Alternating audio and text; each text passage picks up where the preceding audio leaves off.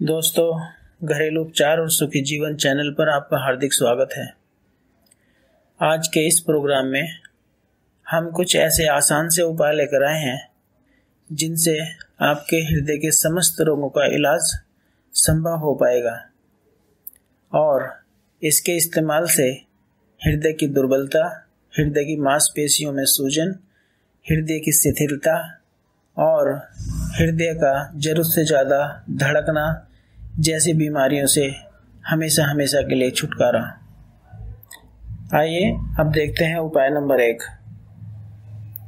गिलोय और काली मिर्च संभाग लेकर कूट पीस कर बारीक चूर्ण बना लें और प्रतिदिन तीन तीन ग्राम चूर्ण गर्म पानी के साथ लें।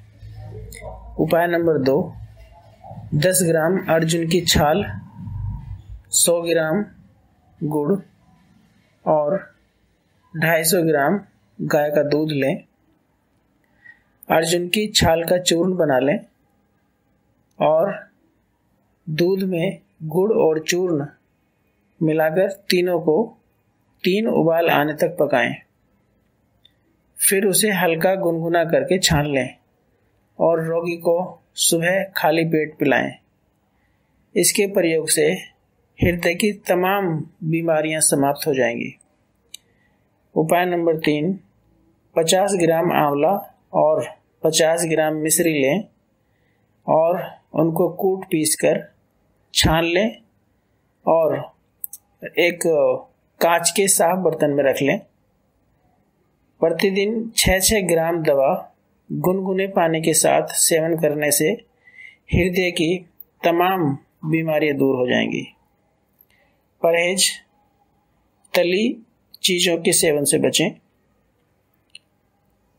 उपाय हमारे और फ़ायदे आप सबके। इसी ख्याल के साथ अब दीजिए इजाज़त। जल्द ही फिर हाजिर होंगे कुछ नए मर्ज और उनके आसान उपायों के साथ। तब तक आप हँसते रहें, मुस्कुराते रहें और अपना ख्याल रखें। यदि हमारा ये प्रोग्राम आपको अच्छा लगा हो तो सब्सक्राइब करें लाइक करें और शेयर करें ताकि और सब भी इसका फ़ायदा उठा सकें।